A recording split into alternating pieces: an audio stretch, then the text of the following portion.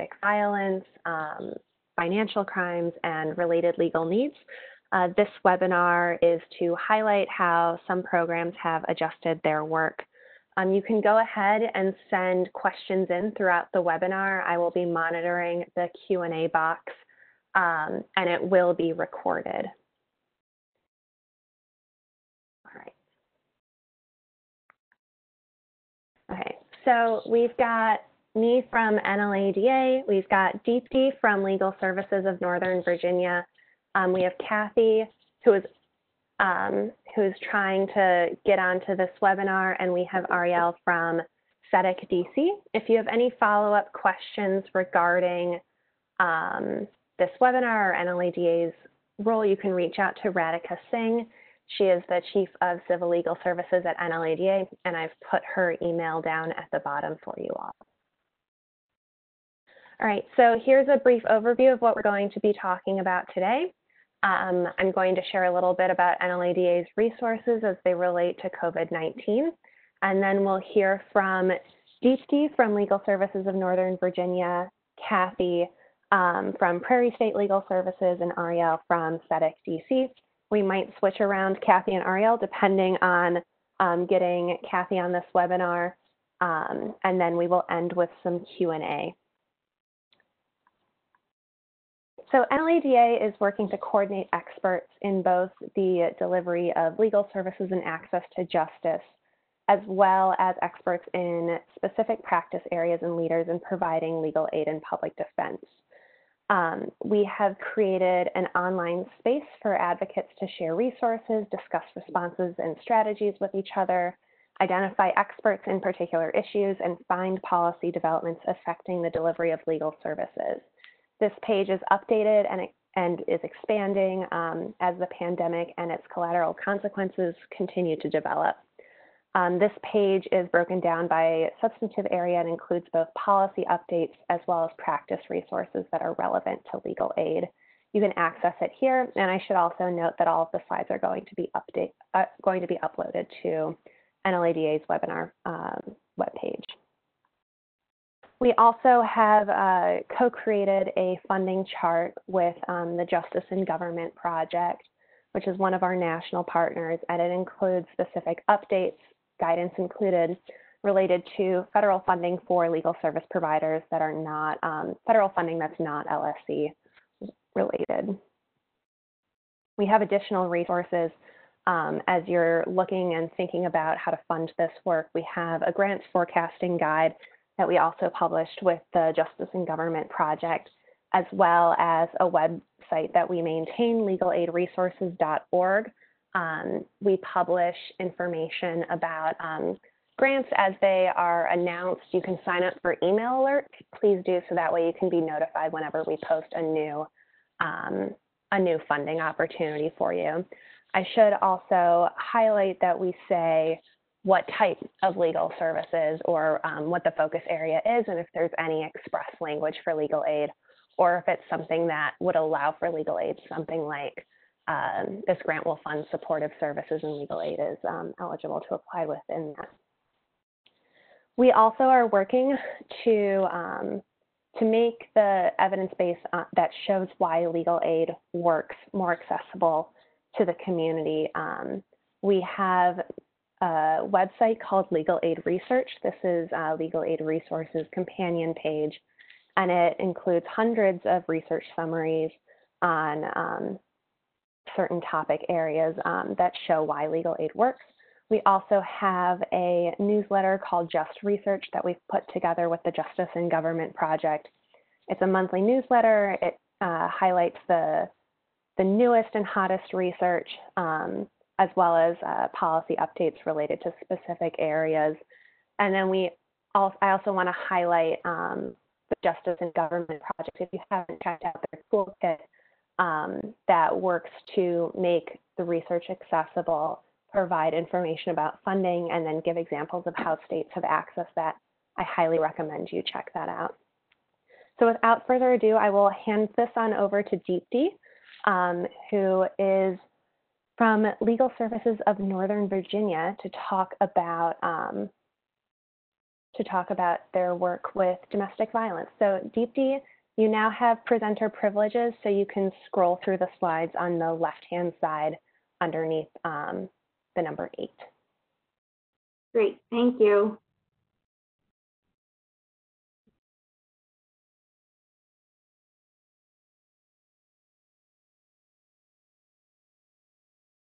Uh-oh, I don't see it moving. You can also tell me when you want to move to the next slide, and I can do that for you. Sure, please advance, thank you. It might be the easiest option.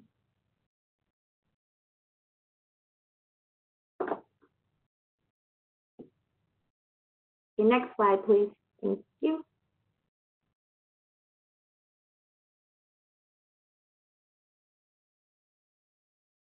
All right, I'm going to take back presenter privileges so that way I can move through these slides. All right, so here's your here's your cover page. Thank you, next slide. Okay, great, there we are. um, thank you all for joining us today. Um, you know, as we were planning for this, the one thing I said, a big challenge is going to be keeping up with changes because I feel like everyone has information overload and um, each day presents a new challenge. Um, so I think it's important to kind of regroup and see what we're seeing today. Um, I, I, think our services um, have been changing um, daily, if not weekly, uh, based on the needs. Um, with regard to our services assisting victims of domestic violence, initially there have there were a decrease in the number of uh, phone calls. Um, our local jurisdiction here, Fairfax County, just released a report where they highlighted the decrease, but then they showed that as of the week of March 8th, there was a 30%, I'm sorry, well, there was a 30% decrease in calls, and then um, the uh, hotline experienced increase. Um, and this was, there was also a significant increase for uh, compared to the same period last year. Um, they are uh, showing that there's more severe types of abuse and threats. Um, for example, uh, victims are being threatened to exposure to COVID, threatened with deportation, um, or they're being threatened with weapons. Um, access is also more difficult with social isolation. There's also some other uh, stressors, which include lack of access to healthcare, uh, financial hardships, and food insecurities. Um, in terms of who is calling, there shows that there is an increase um, in calls from family and friends of victims concerned um, about their safety. Um, next slide, please.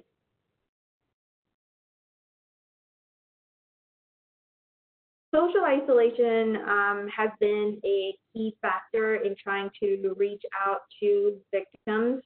Um, as I mentioned, uh, uh, victims are um, the increased, the intensifying um, of isolation um, might increase danger with a partner. They might be hesitant to call. Um, children are also at increased risk to uh, domestic violence uh, at this time um, for our local jurisdiction reports um, to the Child Protective Services decreased uh, 85% um, since March 1st of this year. Uh, due to uh, COVID restrictions, there have been an increase in the number of clients um, attending protective order hearings without representation and an increase in the number of clients non-suiting in, in, in Virginia, that means just dismissing uh, the final protective order hearing. Clients are reporting feeling um, increased feelings of fear, loneliness, anxiety, depression. Um, they're concerned about lack of financial resources. A number, a, a high issue is visitation. It's consistently raised as a concern. Um, parents have questions about whether or not they need to comply. Um, and there's also a concern about victims and survivors um, in marginalized community being supported, especially uh, those from undocumented communities. Um, next slide, please. So we uh, there's uh, we are focusing on in-court advocacy and out out-of-court advocacy. Uh, we you know the one lesson we learned is getting involved with uh, court committees early on and talk to them um, about access and technology. Um, right now, our domestic relations court is able to offer remote filing for the preliminary protective orders um, to clients who are unable to travel to the courthouse. Um, they can conduct their appointments with intake officers via Teams. Um, they can also use their phones. Um, the documents which need uh, signatures are emailed uh, to to the client through DocuSign. Um, it's a company that provides secure electronic signing of documents. Um, then these documents are printed and signed by the intake officer and then submitted to the court. We've uh, are there've been a number of successful uh, hearings that were completed, um, and then clients with uh, general intake, civil intake needs such as visitation, custody, and child support will uh, call the clerk's office. Um, with regard to remote hearings, we are uh, breaking it down before court, during court, and after court in uh, preparing. Uh, before court, you are encouraging attorneys to contact the court, practice with the client, check the technology, um, and make sure both parties consent to these hearings. Um, in some instances, in early on, there were what we're calling hybrid hearings, where uh, you might have one attorney rem- appear remotely and another appearing, or a pro se party that appear in person, um, and that could present challenges. Right now, uh, if you want to appear remotely, you will be uh, the clerk's office will send you uh, instructions. Um, you can file your uh, praecipe uh, uh, to have the remote appearance. You'll receive instructions. Um, we've had a, a few hearings, um, you know, shaky start, but I think it's definitely improving. You want to make sure, again, you practice with your client. When you are actually at the hearing, you want to look at the platform you're using to um, know the different options. Number one is how are you going to communicate with your client? Um, there may be mute functions. Um, you may be able to go to a different room. Uh, one option is if you have a large office and you can, or a conference room, if you can social distance, you both of uh, you and your client perhaps could be present in the conference room and remotely call into court. Um, and with regard to interpreters, you want to see if there can be contemporaneous uh, translation. If not, that will also take up time. If you do need to communicate with your client and you need to mute or go to a different room, the interpreter may, you need to set it up so that the interpreter can follow as well. With regard to evidence presentation, um, we advise planning, pre-planning is going to be very important, exchanging documents, if there is an issue of new evidence, uh, objecting will be important, um, especially if uh, it's a document that you're unable to see that, and you know that um, has presented challenges um, in the past. Next slide, please. Thank you. In terms of out-of-court advocacy, we are um, part of coordinated response streams in our community, and we uh, have meetings to discuss concerns and, uh, about social services needs that are unmet. Currently, our police department, victim services, they're still available to victims, and they uh, conduct advocacy through uh, phone, Zoom, um, FaceTime. Uh, many of them are teleworking, uh, tele sorry, teleworking, and uh, they are available. Uh, there's also counseling services that are currently available to current clients, and they hope to make teletherapy and distance counseling available to new um, individuals and family clients soon. Um, I, overcoming challenges to isolation and tech is uh, one of our number one concerns. Um, recently, you know, uh, we we did a uh, outreach uh, using a conference call so that you don't have to have a smartphone, you don't have to um, have Wi-Fi. We also did a Zoom outreach um, focused on uh, domestic violence in the Black community. As you know, there are um, racial dis- well, racial disparities existed prior to COVID in intimate partner violence among women of color for a number of reasons, including um, distrust of law enforcement and fear of deportation. And we um, were planning to have a physical outreach, but after COVID, we went ahead and had a Zoom outreach, and it was it was a, a good outreach. We had uh, individuals from actually throughout the country call us and share their stories, and so we want to continue using that platform. With regard to our intake and communication, when we are initially making contact with clients, we are making sure uh, to advise them or ask them if they're in a safe location to be uh, talking to us. With uh, I, um, social distancing and isolation, they may be in a home with the abuser. We also ask them to have a safe word. So if somebody is calling for assistance um, and we uh, they indicated safety is the issue, we may ask them to know if they don't answer a question to say like, can you move on? Um, the in terms of case strategy, this um, isolation has really streamlined the process. In the past, if there was a case and an attorney took the case, if there was a defense, we would go to court. But now, um, due to the limited hearings, we are um, working with clients to explore other strategies, um, including uh, a lot more mediation, just informal mediation to resolve issues. Um, again, this is in severe cases, this will be challenging. Um, however, I think working with service providers um, and other uh, support systems um, have been key. Next slide, please. Number of uh, the legal issues that often arise are dealing with custody, visitation, questions about co-parenting during COVID, um, we're still receiving protective orders, um, and we have a number of questions with regard to stimulus payments.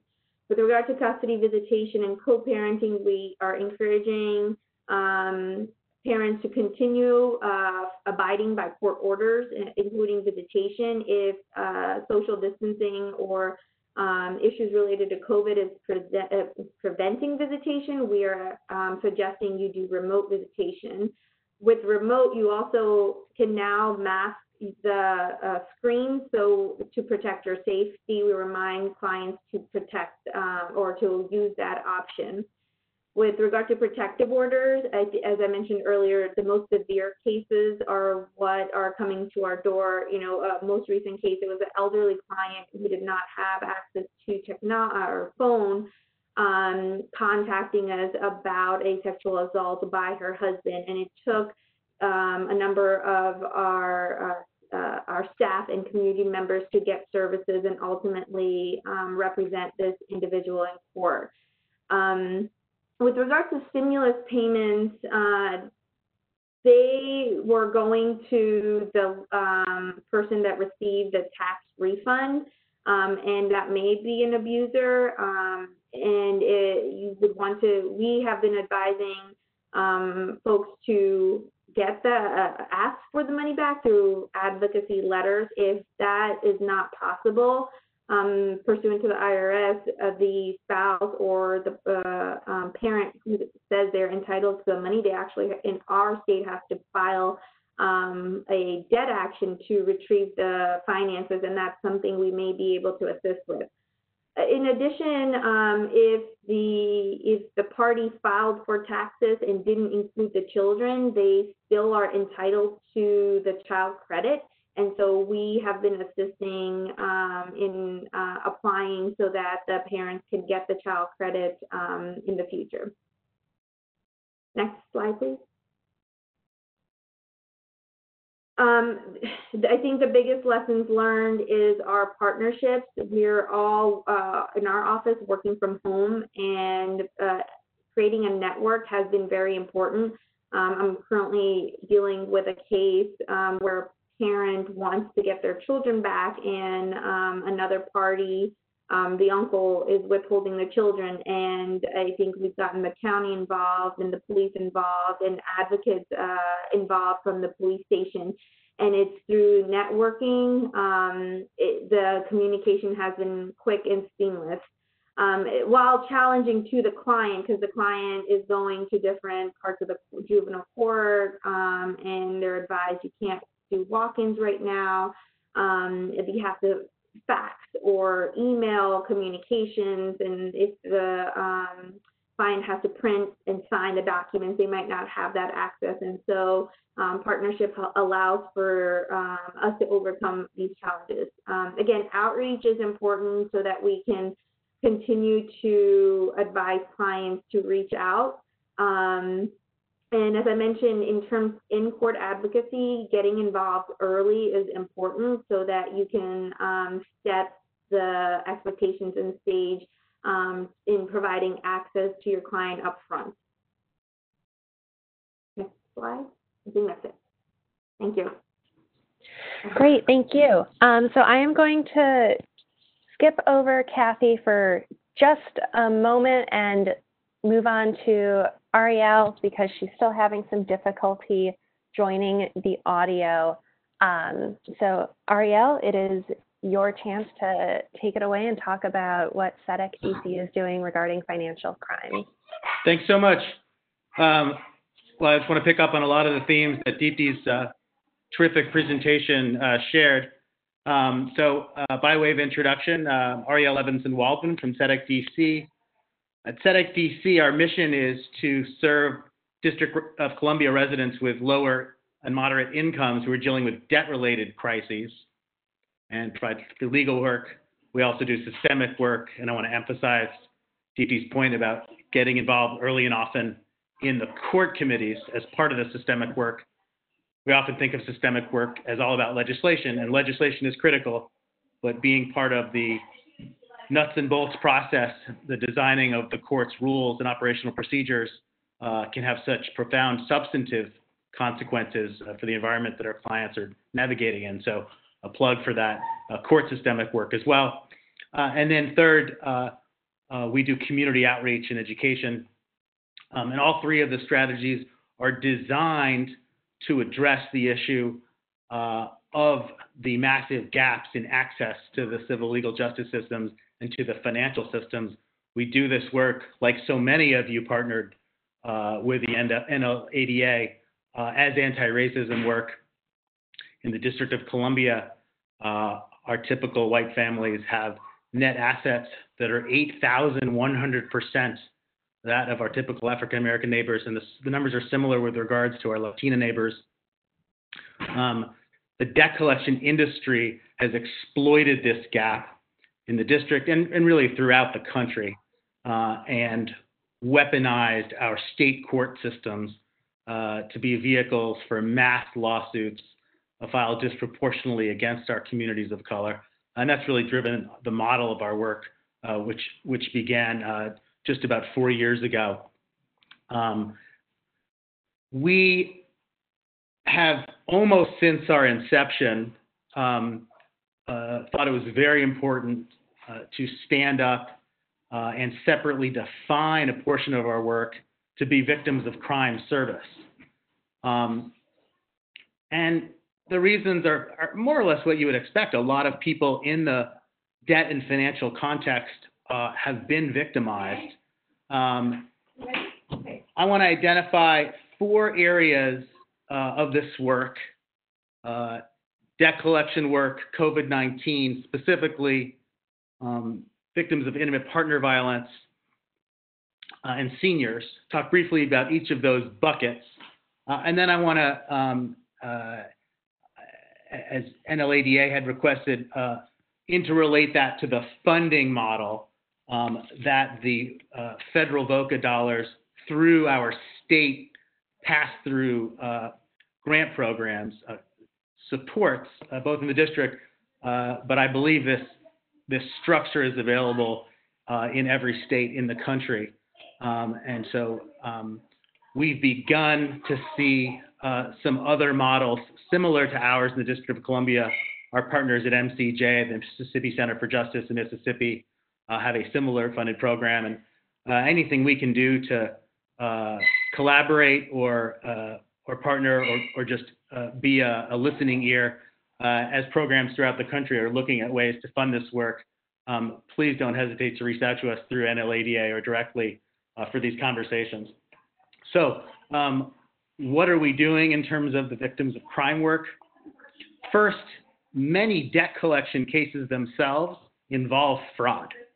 Um, you may be familiar, for example, um, in late 2018, uh, the attorneys general for 42 of our states completed a multi year investigation of abuses by several large debt collection companies um, involving fraudulent robo affidavits. Uh, and let me just say, uh, my family got a new puppy about two days ago, so you, you're, you're hearing some yelping as he goes into his crate. Um, uh, but uh, the AG settlement involved uh, fraudulent robo affidavits by debt collectors, uh, and the allegation, well founded, was that the debt collection companies uh, had used this, these asymmetries in sophistication to um, generate fraudulent robo affidavits, attach those to state court complaints, file the state court complaints. Uh, so the affidavits basi- uh, basically said, uh, yes, I owe the money, uh, and and created this fraudulent basis for the for the state court complaint. They attached those affidavits to the complaints, secured judgments, overwhelmingly default judgments in thousands of cases throughout the country. And it wasn't until this investigation uh, uh, resolved that the financial um, uh, consequences, in part, were addressed through the AG's investigation. However, um, there were lots of things not addressed in that settlement, um, including uh, full compensation beyond the limitations of the settlement, and also individual corrections of the state court dockets. Um, so now in DC and throughout the country, you have uh, folks who have sitting uh, judgments on their court records uncorrected by the AG settlement. And so uh, this is just one example. Our Attorney General referred uh, 412 DC residents cases to us out of this uh, fraud, um, and the numbers are larger in some of the larger state jurisdictions throughout the country. Um, some of these some of these fact patterns in various forms and various levels of flagrancy and drama uh, have continued uh, in the debt industry. So that's just one example.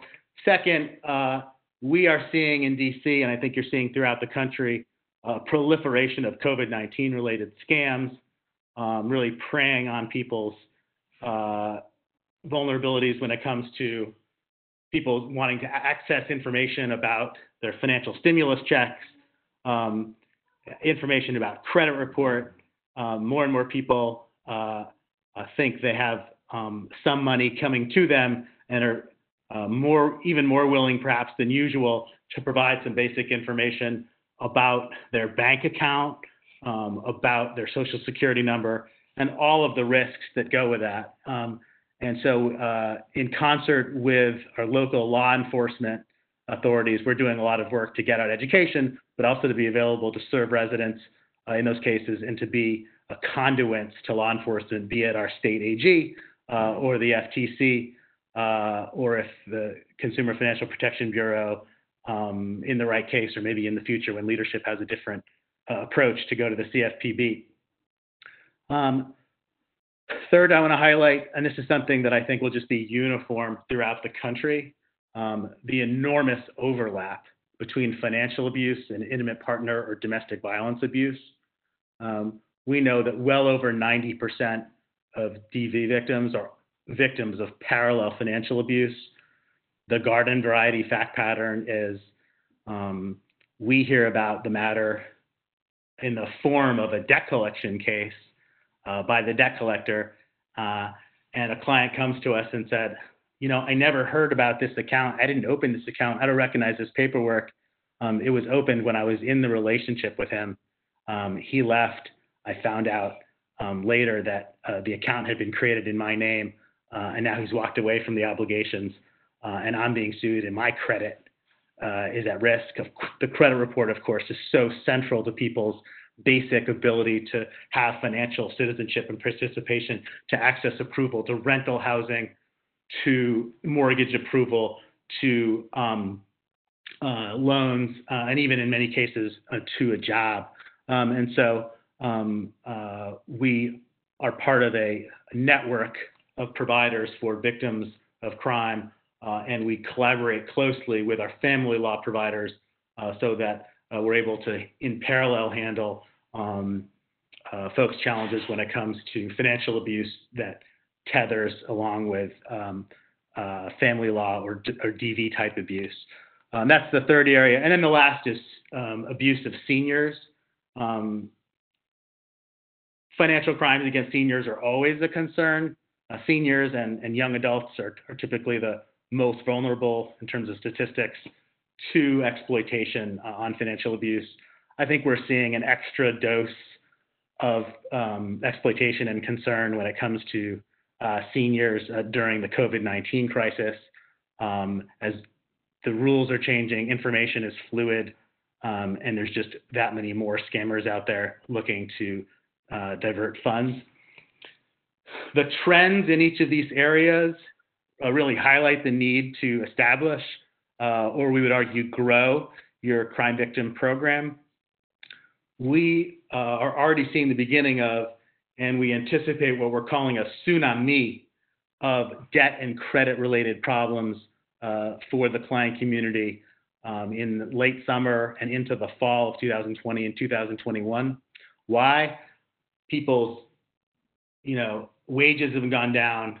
We we all know about the massive, massive spikes in unemployment, the failure of our state unemployment insurance systems to, in some cases, at all, or in other cases, fully uh, cover the loss of wages, the stacking up of bills on so many of our client community uh, members' desks or tables. Uh, and then as these billing cycles go by, what we're looking at is a massive spike in the number of delinquent accounts, uh, which is the predicate for uh, a debt collection or a credit report impairment problem. To give a little bit of a historical framework, we went back and looked in the recession that culminated in 2009 to see from Federal Reserve data uh, how serious the problem was a decade ago. And we see there that there was an 84% spike in seriously delinquent accounts defined as 90 days or plus overdue. We anticipate that the spike will be as bad or worse given the gravity and the scope of the COVID 19 financial crisis that's paralleled the public health crisis. And so all of this work uh, to provide both an emergency room and a preventative type approach for the client community. You know, we like to talk about these things from a public health, you know, kind of lens. Um, I think um, where where organizations can provide that kind of service, I think you, you can get uh, enormous um, returns in terms of protections uh, for for the client community uh, and in terms of um, uh, it, having intake for folks who are, of course, so often experiencing other problems and being able to, to do a holistic intake, handle the matters you can directly, and refer out um, those others. So those are kind of the four areas um, we're seeing. The trend line. Uh, briefly, uh, the only other thing I want to add uh, is that we were asked to talk about the funding model for this work. And we fund this work through two sources. The first is the familiar general support. Um, almost all of our organizations have to do some form of fundraising and that certainly is part of what we do here. But the second we want to make sure is on everybody's radar is that the federal Victims of Crime Act funds, which are appropriated by Congress and distributed as essentially block grants to all the states in DC, have a robust set of funds set aside uh, each year for VOCA work. Uh, and the specific guidance from the U.S. Department of Justice makes clear and explicit as of two years ago uh, that this work encompasses uh, financial abuse and financial fraud work. Uh, and so, since fiscal year 18, Um, uh, we've been beneficiaries of a six-figure grant um, to help sustain this work.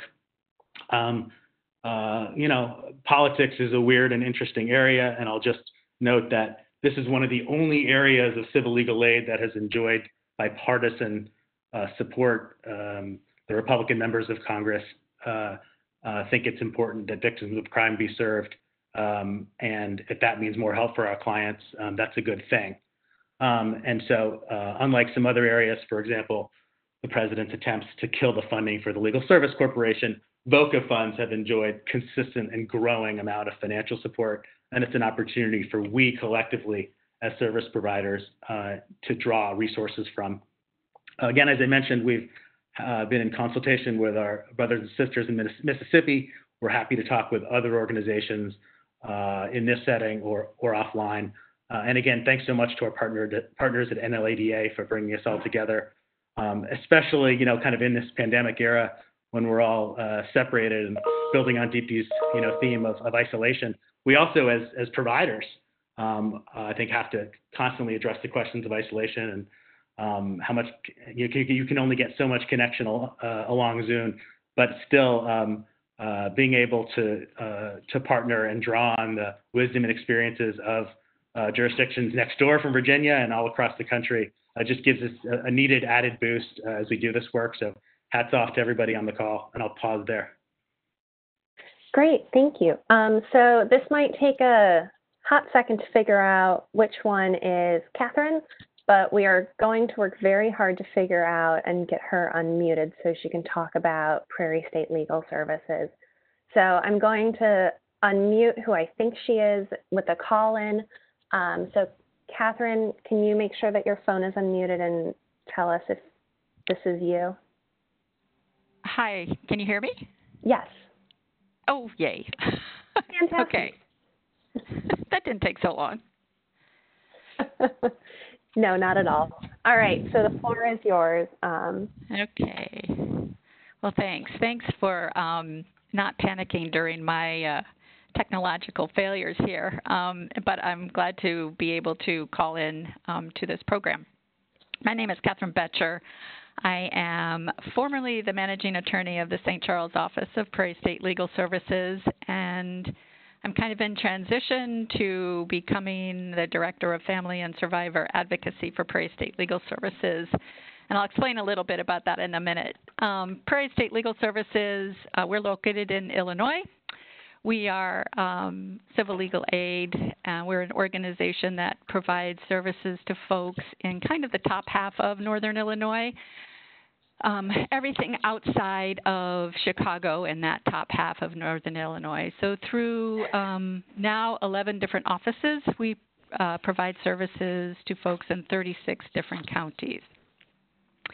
And I say now 11 different offices because just uh, two weeks ago, two of our larger offices, the St. Charles office and our Wheaton office, merged um, and I don't recommend merging slash moving in during a pandemic. Um, but we have now become one large office and um, have combined um, what used to be three and one um, counties being served by two different offices into one um, hence my change in title. So Prairie State Legal Services um, has always has been in existence for the last 40 years, has provided all of those kind of classic legal um, legal aid services to clients on any number of different issues, including domestic violence victims. But back in 2017, with the um, with a, a, a, substantial grant from the Victims of Crime Act, as, as mentioned by Ariel, um, we were able to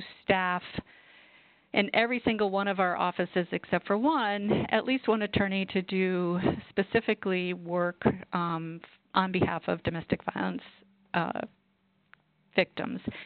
And this work includes not only um, what, what the, the funding was uh, allowed us to do was to include not only providing services on protective orders, but also expand those services to listen to and, and hear from clients what else they needed in order to get out of the, the situation that they were in, or, or at least to begin that path.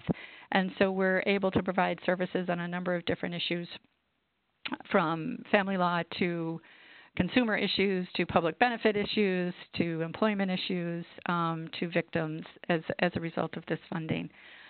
Um, fast forward to the middle of March, um, and we, along with everybody else, all of a sudden we're facing um, the, the shutdown of Illinois, um, which has taken a pretty hard line on up until about a week ago, uh, kind of the shutdown on Illinois and folks sheltering in place um, and going from an organization that did almost all of its work, um, you know, hands-on, meeting with clients, being in court, to having to work from home as we all are doing now. Um, so some of the challenges that that presented, besides the technological challenges, um, have to do with the fact that we're an organization that varies differently depending on where you are in the state. So some of our offices um, border on urban slash suburban kinds of counties. Other offices are very rural. The size of the offices um, is uh, is um, very different again depending on where you are. We have two two attorney offices, and now we have about a 30 attorney office with our new newest merger. So that just that fact brings some challenges in, into um, into providing services for clients because every jurisdiction is different. Um, not only is every jurisdiction different in terms of who we are, but the the the agencies on on whom we rely to to work with us with on, with victims um, also are very different from area to area to area, and every single one of them had their own response to the to the shelter in place orders that came down from the governor. So one of our biggest challenges has been to understand in each county who's doing what or who's not able to do what, and then how do we fill in the gaps.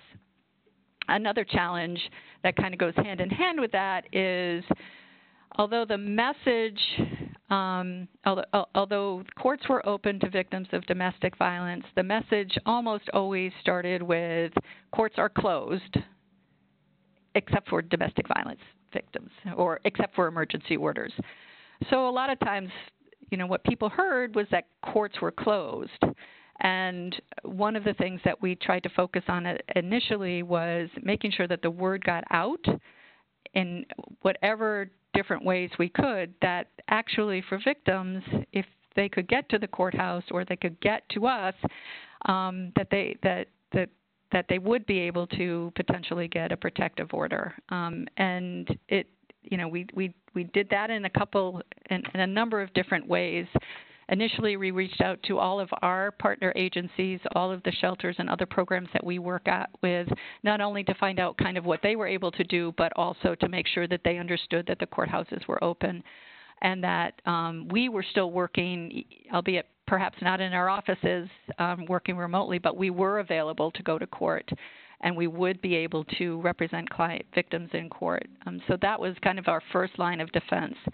We also um, took to the airways or took to Facebook and um, put out messages on Facebook.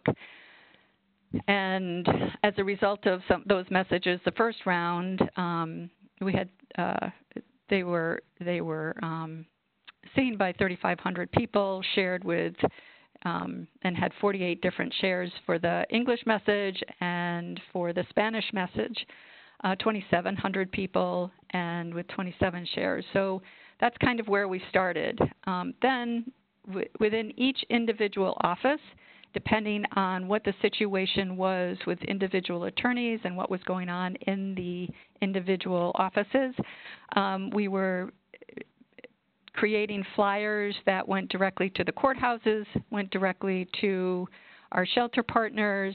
Um, in some instances, those flyers gave um, direct lines to employees within Prairie State Legal Services so people could contact them by phone if they could get to a phone in a safe way um, and and have easier access to talking to an attorney so they wouldn't have to go through our normal intake process and, so, and in some instances, we also had a specific email address that people could email. So again, it would get more directly and more quickly to the people that were providing the services to the domestic violence victims.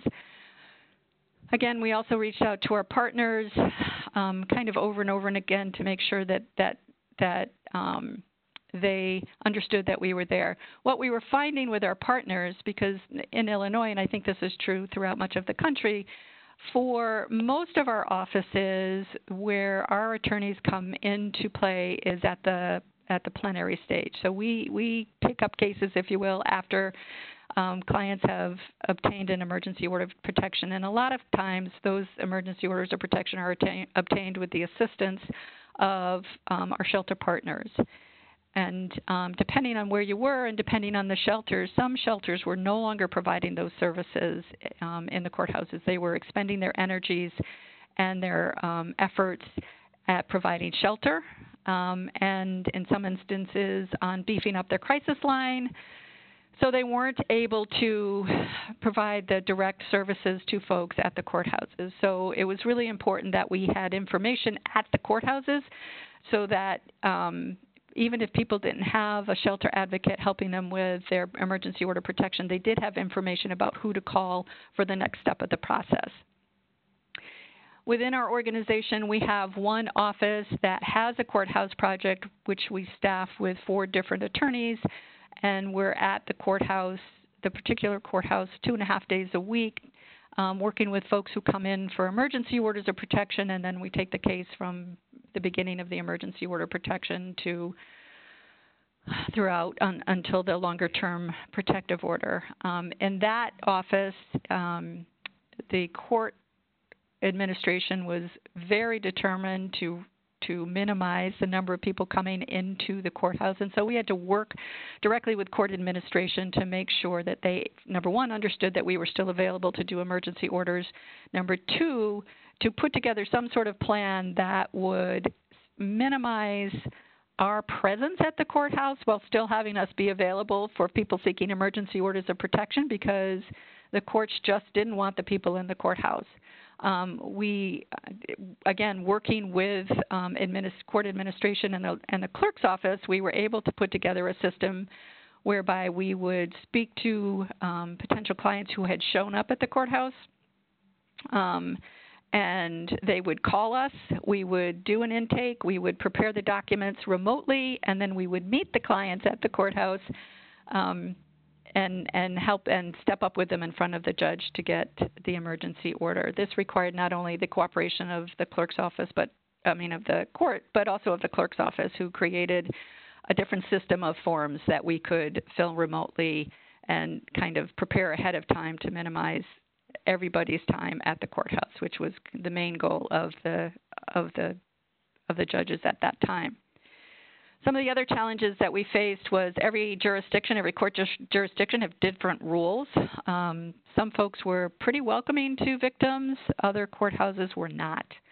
And so trying to do the workarounds to make sure that um, people who were able to get to the courthouses could indeed get into the courthouse. Some of the challenges that we uh, came across, and this is probably true for most folks, is that we you know, people, if they didn't say the right words when they were on the courthouse steps, sometimes they'd be turned away. If they weren't clear that what they were seeking was a protective order or an order of protection, um, or perhaps if they didn't have the right language, um, they might be turned away. A little bit later in the pandemic, a few weeks in, uh, if folks didn't have a mask, sometimes they were turned away. So, and again, every courthouse is different, every jurisdiction is different, so it, it, each individual office had to kind of put their heads down and, and try to figure out what was going to work and what the rules were and getting the word out to the clients.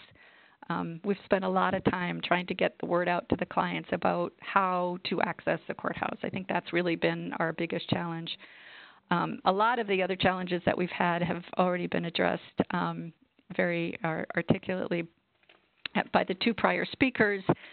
You know, the clients are facing any number of, of barriers. Um, being sheltered in place with um, the abuser for periods of time that were probably unlike any period of time that they had before, not necessarily having access to um, uh, an hour to be able to talk to somebody, anybody about what was going on, having the children around all the time, not feeling comfortable talking to the children. All of those issues I know are are concerns and issues that other programs have been dealing with. So again, I think our our biggest focus was to to make sure that people understood that that the courthouses were open, that we were there, um, even if they didn't weren't ready to talk, weren't ready to go forward with an order protection. We were available, and and tr- we tried to make those services as easy to access as possible, easier than perhaps they had been in the past. I think um, in terms of numbers, it, it, our telephone intake system, which is how many of our, our folks, domestic violence victims and otherwise, come to us, um, kind of overall during the from about March 20th until now, we saw about a 20% decrease in phone calls in, in telephone intakes. Our, with our domestic violence victims, though, the decrease was significantly smaller, just just about four percent. So. I think some of our efforts to uh, make sure that people knew that we were there and we were available and we were um, able to speak to them and work with them. I think some of those efforts were were successful. I, where we weren't perhaps as successful, but we're continuing to work on it, is um, we did see a fairly significant significant decrease in the number of folks coming to the courthouses. Um, probably at, at, least for the first six weeks, about 20% decrease. Having said that, um, now that the um, uh, Illinois started opening up a little bit um, a couple of weeks ago, and then on Friday started opening up even more. Um, and for example, today, at our courthouse project that does emergency orders of protection, um, they've been extremely busy. So I think with people feeling more free to leave their homes, I think we're going to now see the other end of um, folks being, you know, feeling like they didn't have the option of coming forward, feeling like it wasn't safe for them to come forward. Um, understanding that at times law enforcement was unwilling to arrest because they didn't want to put folks in jail. Um, we've had a number of stories of people um, who called the um, law enforcement for violations of orders of protections, and, and you know we're told they're just not going to arrest. It might be a violation, but they weren't going to arrest because they just weren't going to put people in jail. So that's another issue that we that the clients have been struggling with, and we've been struggling with. Um, and in many instances, it our solution to those problems has really gotten down into the the connections that we've made throughout the years with various people in these various agencies and, and just making those phone calls and saying, look, you know, this is what's going on. It's a problem. Um, we've been doing that a lot also, as I'm sure other people are, just trying to, to get through the moment and um, get some of these solutions out there for clients. Um, so I think that is. I don't want to repeat a lot of what um, has been said. Um, again, probably much better than I can. Uh, we, we are seeing all those same issues with our victims. There's child uh, parenting time issues and questions. There's child support questions. Um, the financial impacts of of of COVID are pretty significant. Um, and we're going to be we're going to be dealing with those down the line.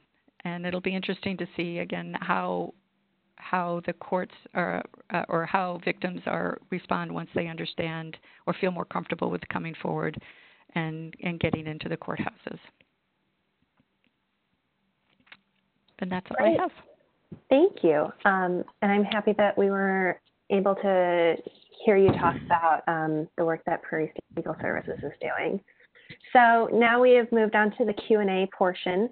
Um, please go ahead and send in your questions either through the Q&A box at the bottom right or in a direct um, chat. So we've got a question, um, and this is open to you all. What are the solutions for clients when the police won't arrest? Um, so I think Catherine, this uh, this came in during yours, um, and I think it might be directed mostly to you and maybe Deepti a little bit. And I'm sorry, can you repeat the question? What are the solutions for clients when the when the police won't arrest? So I, I think what again what we've been doing is working our contacts.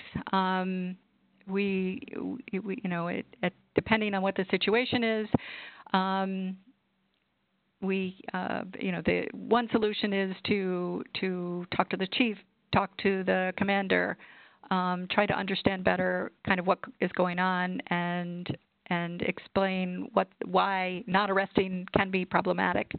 Um, sometimes that's successful, sometimes it's not. The other solution, it's a longer term solution, is to work on enforcement um, through the civil courts, through um, in Illinois, it's called a rule to show cause, um, seeking a finding of contempt because the abuser, because the respondent, the abuser, has has violated a court order. And depending on the nature of the violation, that may be at the end of the day a more realistic route to go anywhere. But uh, but a lot of it does get down to those connections that we've made with law enforcement and and just trying to work those connections and and um, you know kind of talk about the other side of the coin here because I understand what the concern is. The concern is they just don't want people in jail.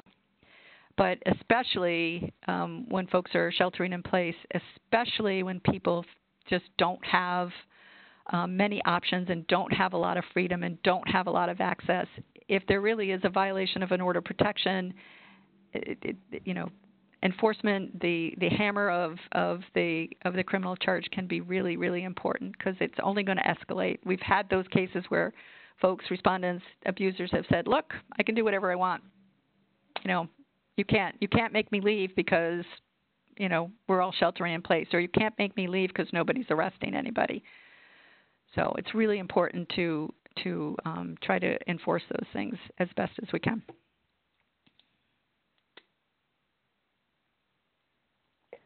Great. And we have another question in, and I think this one is directed towards Deepti. Is the remote filings option limited to a particular county in NOVA, or is it available across the board? We haven't heard of that option here in Southwest Virginia, but we've been telling clients about I-CAN. Is there any guidance you can give this person? I think it's jurisdiction specific. Um, this is our Fairfax, um, and with regard to the other cities and counties we work with, we've been trying to get this up, but it's just logistics and different courts say they have the equipment um, and availability. I know um, General District Court are um, have email addresses um, that you can mail pleadings to, but the, still the initial filings, they, they, still need a wet signature. Um, and so I think it's just Fairfax for now, but um, as Ariel mentioned, I think we just need to be on the front end because as courts have these transition teams and they're creating policies, I think constantly pushing this option um, has been what's been helpful in moving sort of the bar to get that um, more of a reality. But I think that resource part of it, something we don't concern, has been something that we've been coming across. The courts have been letting us know as to why they can't have those um, alternatives available. Great, thank you. Um, and we don't have any more questions in from the audience. Oh, we have um, We have a question in from the audience, uh, just came in. Uh, could any of you speak about the federal funding that you've received um, from LSC over the last few years um, and if and how it's been affected by COVID-19? I should also mention that um, NLADA, if you are a member, uh, we do have a council uh, that provides uh, guidance advice on LSC related issues? I'll speak briefly about the funding received by LSC from Congress and then invite others to address funding received by organizations from LSC because we're, we're, we're, not an LSC grantee, although we think their work is so important. Um, I, this may be, the question may be coming up in response to my comment that the Trump administration had recommended uh, elimination of LSC funding.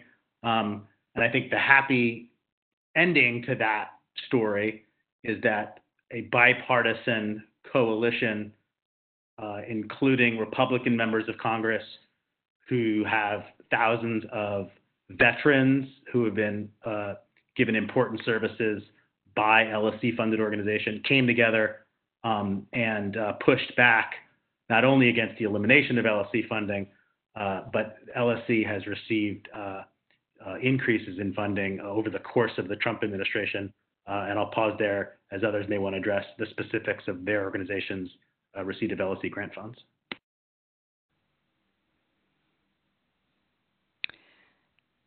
So this is Catherine Boettcher. Prairie State Legal Services does receive LSC funding and has for, I think, most of its um, history. Um, and and it supports all of the work that we do um, for folks who are you know financially eligible under the LSC guidelines. Um, and and as it relates to COVID-19, um, I, I, I know that we were LSC put forward um, the opportunity to have a tech, uh, um, to provide additional technology to folks um, through a grant process that, and we were uh, fortunate enough to be able to um, increase some of our technology as a result of, of that grant. Um, and it was a very short turnaround, and and um, folks who were working from home and needed equipment kind of benefited from that.